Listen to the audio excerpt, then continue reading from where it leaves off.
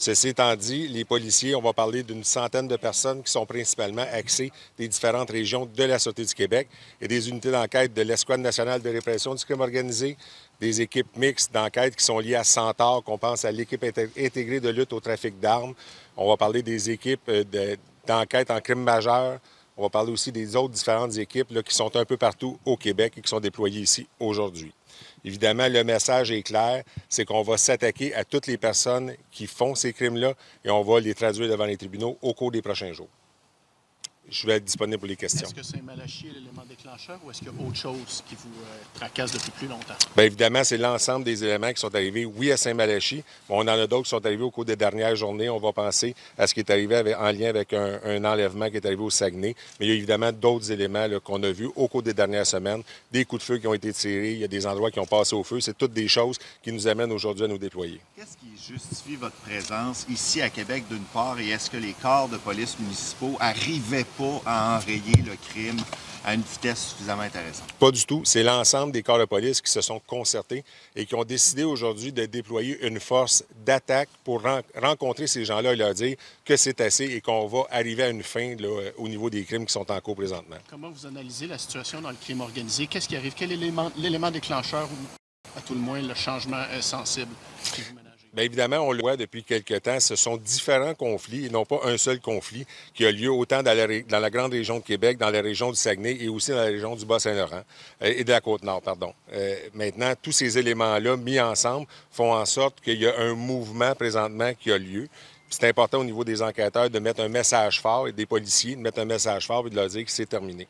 Avez-vous peur que ces violences-là débordent et que des civils soient aussi atteints, euh, touchés par ça? Au moment où on se parle, les événements touchent évidemment des gens qui sont très ciblés, qui sont en lien directement avec le crime organisé ou avec les, gens qui sont en lien avec la vente de stupéfiants. Maintenant, il n'y a pas d'éléments qui touchent les civils. Est-ce qu'une balle perdue pourrait arriver? Oui, ça fait partie des choses qui sont envisagées. C'est pour ça aujourd'hui qu'on décide de déployer cette force-là. C'est pas de grande inquiétude à l'heure actuelle? L'inquiétude, je vous dirais que présentement, l'objectif, c'est d'arriver à une fin puis de procéder à des arrestations rapidement. Pensez en avoir pour combien de temps avant d'en arriver à une fin? Est-ce que ça va durer plusieurs semaines, voire des mois? Quel genre d'opération on doit s'attendre? Bien, c'est des opérations qui sont déjà en cours depuis un certain temps. On le sait, il y a eu déjà des arrestations qui ont été faites au cours des dernières semaines. Il y en a d'autres qui ont eu lieu ce matin. Il y en aura certainement d'autres qui vont arriver au cours des prochaines journées, des prochaines semaines. On n'arrêtera pas tant et aussi longtemps qu'on n'aura pas mis fin aux événements de violence qu'on voit présentement. Avez-vous des informations qui vous disaient que les choses allaient s'empirer à court terme? si vous ne faisiez pas ça?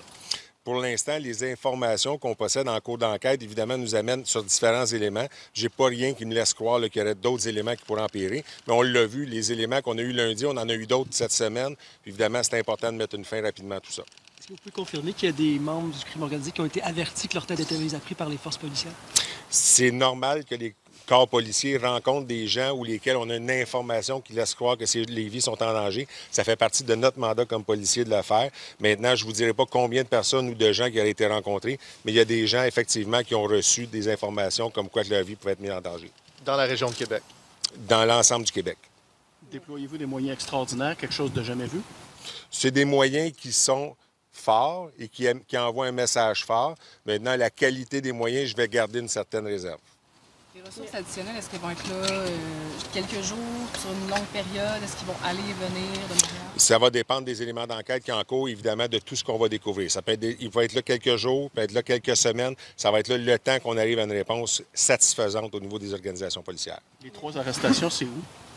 Les trois arrestations ont eu lieu à Montmagny. C'est euh, deux hommes de 22 et de 38 ans ainsi qu'une femme de 37 ans.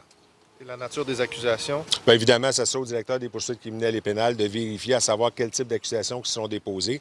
Il y a des mandats d'arrestation dans certains cas. Dans d'autres cas, les accusations vont être déposées au cours des prochaines heures. La nature des accusations qui pourraient être portées contre ceux que vous annoncez qui vont être arrêtés dans les prochains jours, prochaines semaines, ça ben, ratisse large, complot, ben, tentative de Ça peut ratisser extrêmement large. Ça peut être en lien avec des infractions liées aux armes à feu. Ça peut être en lien avec des incendies. Ça peut être en lien avec des enlèvements, différentes choses. Évidemment, on, je vais laisser à ce moment-là le directeur des poursuites criminelles et pénales faire la suite quand il y aura des arrestations en fonction de la preuve qui lui sera présentée par les enquêteurs.